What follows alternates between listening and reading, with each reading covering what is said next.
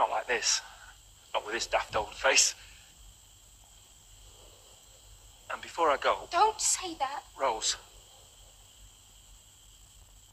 Before I go, I just want to tell you you were fantastic.